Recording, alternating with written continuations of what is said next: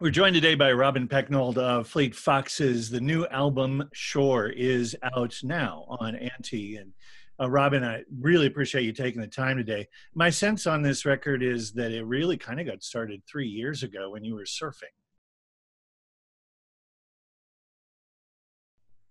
Yeah, yeah, definitely. Uh, and thank you for having me.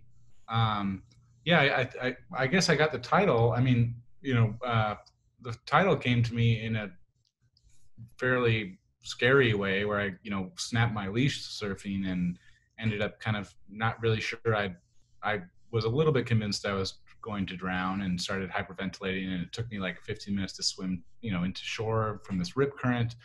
Uh, it was kind of the closest I've ever been to like a near death experience. And so, um, I don't know, I felt so relieved um, when I made it back to shore that that feeling really stuck with me as something to kind of like keep in mind for the music, you know, because it was such a different feeling than like happiness almost. It was just like a gratitude to be alive and to like, you know, appreciate what you kind of take for granted all the time.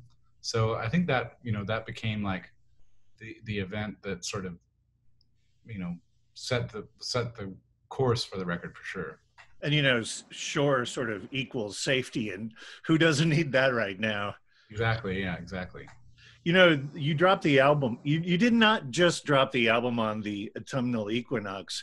You dropped that album at the exact moment of the autumnal equinox, 8:31 a.m. Kansas City time, Tuesday, September 22nd. And there, there's something. Um, of course, Fleet Foxes has always made me feel like it's music that connects me to the natural world. But you've sort of really upped the ante with with this one. Yeah, I mean that was just kind of a you know that's something I've always wanted to do. You know, just kind of release an album with very little lead up and and kind of close to its release. Um, and it just, you know, I think the, uh, you know, the like you said, you know, I like tying the album, tying album. I like when albums feel like they're, you know, really tied to something outside of our, you know, a little outside of our realm of concern, or you know, a little more timeless or more natural. And um, it just kind of worked out. You know, the first lyric on the album is "Summer All Over," and the last lyric is "Now the quarter moon is out." Those are both coincidences, and that's the phase the moon was entering um, on the 23rd. And you know, it was just certain faded. You know, it was very recording in July and August was a very you know intense and wonderful experience, and there were just all these kind of great coincidences, and it felt very charmed, kind of. And so, you know, I just became adamant that that be the day it comes out, and I'm really glad that it worked out that way, you know, because now is as good a time as ever to try try something different, you know, and and also I grew up buying albums after school on Tuesdays and listening to them all night and then talking about them with my friends the next day and so I think Tuesday is kind of like I think that's the day for album releases. you know, uh, speaking of time, you are planning an expanded version of this record. The 15 tracks that make up Shore have really been on your back. Uh, it's it's something that you have pretty much done. Uh, the you're planning on nine additional tracks with the members of your band, and you add the nine and the fifteen, and you get 24 songs, one for each hour of the day. Where did, where did that idea come from? I guess from that meme of the woman looking around with all like the math equations around her, you know that uh, that kind of energy. Um, well, I thought the original idea for the record was 24 songs, one representing every hour of the day, and no first or last song, but just you just start kind of at whatever hour um, you know you you wanted, and then you know if you wanted just kind of you know have this really experimental section and at like you know like almost like a, a dream sequence kind of thing between 2 a.m. and 5 a.m. or something like REM sleep, and then you know calming music in the morning and and brighter music during the day, and um, so I think we can you know that was kind of like the background idea for something like the scaffolding for some of the stuff on shore. And it, i think it's going to be cool to expand it into that idea. Um, and and yeah to work with you know to write actually write songs with those guys for the first time actually ever. Because it's you know always been kind of a different lineup every album and it's always been um, mostly my vision you know. And um, so you know in this period where we don't have any touring to look forward to um, i think a lot of musicians are just trying to come up with creative ways to stay busy. And um, and this you know in lieu of retraining as a you know a user experience uh, computer engineer, this is kind of my solution to this time period and what it means for the entertainment business. Robin Pecknold of Fleet Fox is our guest. The new album is Shore. Uh, the the start of this project, in a way, was what a couple years ago, and the music came first. You spent a year and a half on that music, uh, and then all of a sudden, COVID hit, uh, and you didn't have lyrics. And the whole idea of this album was to do something that was, you know, bright and comforting uh, and you were really writing to put yourself in that place. It was almost aspirational for yourself. Yeah, for sure. I also think you know one of the um, I think I spent a long time kind of under the impression that serious music was was the same as dark music, where like um, you know I, I think I just kind of equated those two things in a way that was a little bit short sighted or a little bit uh, you know a little bit incomplete, you know, because I think, I, and so I think the challenge with this one was to make something that still felt like serious music in terms of like how it's made and how it's constructed and you know what, but but that wasn't dark, you know, and just and but that didn't feel cheap or corny or you know whatever those you know the the, the minefield that you step into when you decide to not kind of hide behind a certain you know emotional tenor um, just just kind of that became those became the, the the fun problems to solve and the fun risks. And then definitely you know for to be working on that kind of music it's hard to stay melancholy you know i found like you know if we pulled up can i believe you to work on that song we were smiling the whole time you know because it was just a fun song to work on and and that wasn't you know that was if i was having a bad day that day the music was was solving that problem you know, in a totally different way and, and that I'm used to, you know, and I think that that remains, you know, um, an interesting, you know, I think as, as, you know, getting older a little bit, I'm 34 now and, and kind of, um, you know, thinking about, you know, what a person like me, you know, what, what, what I can give to the world that feels like valuable. I think it's stuff like this, you know, and I think that, this is the kind of thing I can devote a lot of time and energy to and feel like when it, you know, I'm sharing it in a, in a kind of in good faith. You know, we, you know, we were talking about the music being essentially done. You were working in LA, COVID hit you move back to your apartment in New York City. And I really have a hard time imagining this, but you basically live across from a hospital where there were sirens, there were yeah. refrigeration trucks, uh, refrigerated trucks in the street that were serving as main, uh, you know, makeshift morgues. And this is not exactly the, the way that you set out to write, you know, warm and comforting, bright lyrics. No. So you you did you did video games. You tried baking for a while. Uh, you got involved in black lives matter protests but eventually you just had to get out of town uh, and yeah. started doing some road trips. Now did you do those road trips thinking i'm going to come up with lyrics while i'm on the road was that intentional? No not at all. I was you know i think in that month of june i was like i just need to get out of the city. You know there's finally some like some some leaves on the trees, and you know, there's we're kind of you know mid spring. It's it, you know it's kind of takes takes a while in New York sometimes for for for winter to end, and you know spring can be kind of short. And it was just I was just kind of chewing on the fact that I had this albatross of a half finished album on my back, and I didn't I I assumed it would take the rest of the year to finish, and it would come out next year sometime. Um, and but once i was on these drives just like you know six to 12 hour drives every day just feeling like you know f- kind of like ragged but kind of free you know? I was kind of like you know didn't bring a change of clothes. I wasn't like showering. I felt kind of like you know like i did when i was you know 19 or 20 and and you know something about that mindset crept in and all the lyrics just kind of came out of nowhere. And then and it was like this huge gift. And because that was the main bottleneck in finishing the record really and um, it really just you know it was it was that kind of thing of just like letting your current circumstances guide the lyrics a little bit instead of kind of like trying to reach for some other you know storyline or reach for some other thing you know because there was so much that I was thinking about that felt like you know transformative in some psych- psychological way as a result of you know being in lockdown for three months, and um, it just kind of materialized, and and then I was off to the races. So I could finish the record no problem. You know, once that was once that was in place, and then um, you know I couldn't feel. I'm grateful every day for that weird charmed month. You know, because it really made all of this possible, and and um, and yeah. You know, ultimately, I felt like maybe COVID was so big that it made the record smaller and easier to approach. Oh, 100%. Yeah. I mean, it's really hard to, you know, see music as anything but a refuge and a you know you know you can't put a bunch of anxiety onto music at a time like this you know it has to be the safe haven you know. Um, it's just that's just too much too much to hold. Our guest today robin pecknold of fleet foxes the new album shore is out now. I absolutely love the story of the first song on the album. You uh, and, and, you know i think that you you actually sort of thought well you know give it a try but your voice maybe wasn't working for you. And i so the first voice we hear on the album isn't yours.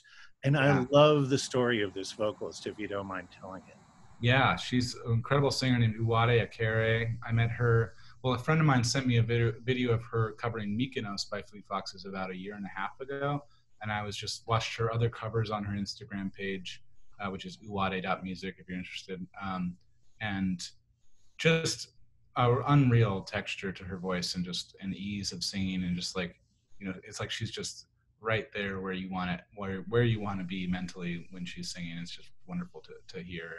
And, um, so, you know, and I had that piece of music and I was like, oh, this would be a great intro. But, you know, I was trying to manipulate my voice so that, because I wanted the first line that I sang to be for Richard Swift. And that's the first line of the next song, Sunblind. Um, but I wanted this other piece of music to happen before it, you know, and then it was just, you know, kind of another cosmic alignment where Uwade came into my attention, and then she happened to be studying at Oxford when we were recording in France, so she was kind enough to take the train down and record with us for a day, um, you know, and it was it was just a beautiful day of recording. You know, I, I think like lyrically, and you know, so much of the record ended up being about other people and stuff that we're going through collectively, and less kind of some you know existential turning point that I might be in or or something you know that wasn't really um, that wasn't really my my idea or that wasn't really happening. So um, having another voice at the top of the album kind of signaled like okay this is going to be a slightly different experience in in kind of mysterious ways when you know when you're just listening to it. And it's also not it's going to be other people forward you know other people first you know, I was just thinking about that story from her perspective. You know, she obviously has reverence for what you do because she covered your song.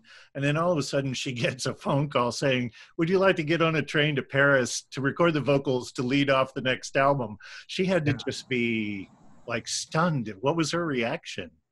Well, she was, you know, we'd only ever talked on like text messaging before the session.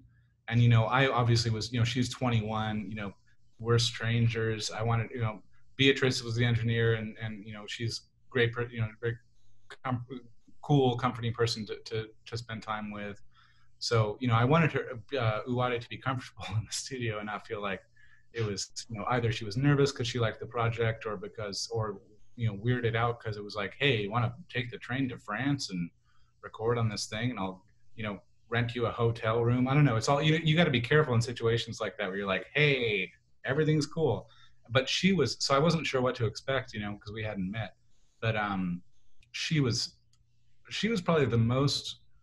Um, I was deeply inspired by just her whole demeanor that day. I don't think I. I think if I were in her position, she was so calm and like confident and assured in this very like inspiring way. You know, it wasn't. She wasn't like at all. You know, cocky or something, but she was just like very stable in herself. And she's like um, you know i was very inspired because when i was 21 if i'd been in that position i would have been a nervous wreck. And i would have been you know saying dumb things left and right. And you know but it was wonderful. We got to talk about our favorite bands. And you know she was just she would just go to the piano if there was a break in recording and start singing some beatles song beautifully. And like we recorded some of her covers. And and uh, it was just kind of like I was very inspired by by that day recording her and, and seeing how she kind of carried herself as a person because it was it was it was very beautiful. You know, you mentioned the wading in waist high water leads into Sunblind, and the fact that you wanted the first thing that came out of your lips on the album to be about Richard Swift, but you also name check all kinds of other artists: John Prine, Elliott Smith, David Berman, Jeff Buckley, Otis Redding, Jimi Hendrix, Marvin Gaye. This whole album has a sort of an underlying thread of gratitude. Yeah, yeah, definitely. I mean, I think that um, you know it's it was important to me to kind of you know I, I was just thinking about memory a lot and just how you know music is this kind of form of immortality for these people you know and and they're you know we're learning their lessons every day when we're listening to their music and their their points of view are, are being carried forward um, through their songs that we're still so you know listen to enjoy so much and listen to so much.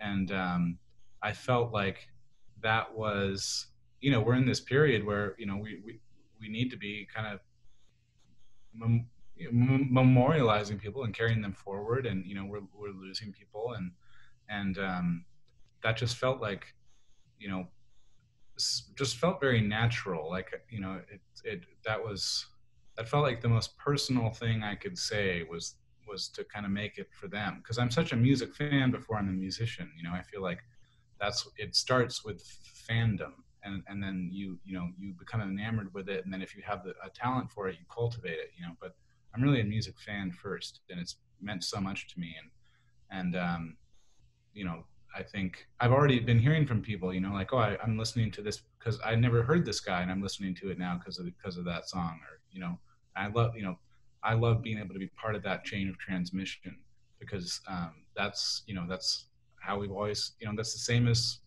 the Odyssey or the Iliad, you know, telling these myths about people and carrying them forward, and and um, and that's I don't know, that's feels super important right now. You know, we also love the fact that you have, you know, been embracing some of the living musicians that you admire, and one of the musicians that you worked with on that track in particular, Kevin Morby from Kansas City. Yes, I know. I was going to ask about Kevin. Uh, yeah, yeah, yeah. he's in Kansas City right now. I've been talking to him a bit. I know he recorded his parts from Kansas City. Yes. And uh, and he moved here just you know he just in time for COVID. Yeah. yeah. They've got a great setup though. I, I, it seems like that's there's anywhere. I've been jealous of you know I'm in this one bedroom apartment in New York. That's where I've been the whole time, and I sneak on the roof sometimes. But I've been jealous seeing Kevin's garage recording studio and his all of his like I don't know. He's got a good setup going. I'm jealous. And and it was such a you know, love his music so much. Like my sister manages Fleet Foxes, and she also manages Kevin, and um, so we have a you know great relationship. And you know, he's he's making Kansas City proud for sure. Absolutely. You mentioned some of the artists that have inspired you, and one of them you really took to heart in that you wrote Young Man's Game basically as an homage to John Prine's songwriting style. And it's really an entry point into the whimsical side of Fleet Foxes, which is a sentence I'm not sure that I ever thought I'd be saying. Yeah. Yeah. I mean, that was a funny song to work on because I was like really thinking about it like, okay, I mean, lyrically, I'm actually really proud of that song. And it's 100% influenced by John Prine in terms of like having this, you know, classic way of kind of repeating a, a, you know a lyric at the end of every verse or you know kind of reframing the meaning of a of a of a you know kind of hackneyed phrase or that that kind of you know certain funny lines that are meant to make people smile and musically it's not really it's more of a kind of like Joni Mitchell Fleetwood Mac kind of like but but kind of goofy and I I felt like um it was me it was meaningful to me to put that song on the album because I don't think it's like a masterpiece of a song. And that's like, and that is not like something I would have ever let myself do in the last like 10 years was just like, you know, let a song be kind of a curiosity or kind of a like novelty song, you know, and it's something about that with the lyric. I know that sounds like a weird, a weird thing to feel like an, a personal achievement, but um, that like it's lower quality or something. But um, just like pairing that mu- the kind of like silly music of that song with the lyric that is resonant and kind of speaks to why that wasn't possible before. You know, that felt like a nice thing to put in the middle of the album as a kind of bridge between the two sides of the record while also being this kind of outlier. Robin Pecknold, the Fleet Foxes, our guest. Shore is the name of the new album. We've been talking about some of the artists that inspired you. And one of the people that really inspired you to go into this line in the first place is Brian Wilson. Yeah. And so that inspiration is like, this is totally yours, you know, in every way. But Cradling Mother, Cradling Woman not only takes like the production style and values, but you also took Brian Wilson's voice and incorporated yeah, it. For sure. Yeah. I mean, he was so, it was so, they were so gracious to let us use that little clip of him counting the song in and some clips of a, you know, uh, studio dialogue from a Pet Sounds box set session that just you know a clip of him layering vocal after vocal just a cappella and that clip um, you know when i heard it as a teenager that was that clip is what made me want to be a musician because it it was kind of the user user's manual or the kind of spell book or something like here's what you can do with just a voice no lyric just chord colors and and contrary motion and you know human you know res- vocal resonance, and it was just like this is pure magic. This is all I want to do, and and uh, so you know to have that audio kind of count the song in, and then kind of um, you know the song itself is really like more overdubs than any other Fleet Foxes song by far, and and um, it just meant a lot to me personally as kind of a you know uh, point A to point B kind of thing. You know, I our guest today is Robin Pecknold of Fleet Foxes. The album is Shore, and I know we're running a little bit long, but I do want to mention that there is a companion film that you've released yeah. to go along with it. And it's been, I've seen it described different ways, different places, documentary. I think it's more of a meditation. Yeah, for sure. Yeah, it was a beautiful film my friend Kersti made, um, you know, all around Washington State last month in August. And, you know, I think you know we had a limited time frame and i think we knew you know she has a really wonderful eye for composition and just finding shots that are you know intriguing and and you know letting the camera linger a, for a while on a certain frame so that your eyes are distracted enough that your ears open up in a different way you know to kind of contrast with the music that's pretty pretty often dense you know? And um, getting you know getting updates from her while she was on the road you know we were stuck in the studio. I was kind of living vicariously through her getting to you know being all this beautiful nature in washington state and you know prime time. And um, so that's my favorite way to, to, experience the record is is along with that visual um, and and i'm really glad she made it and worked so hard on it and went above and beyond and it's easy to find online as well. Robin Pecknold, the new album from Fleet Foxes is Shore. It is out now on Anti. And I just want to thank you for, you know, approaching music as an artist and and treating it with respect. And it's not a commodity for you. It's it's personal. Uh, and you bring everything that you've got to it. And and for that reason alone, I'm a fan. But on top of that, this is just a gorgeous, gorgeous, gorgeous record that we're going to be playing for a very long time. Oh, thank you so much, Jon. Thank you. Robin Pecknold, Fleet Foxes on the bridge.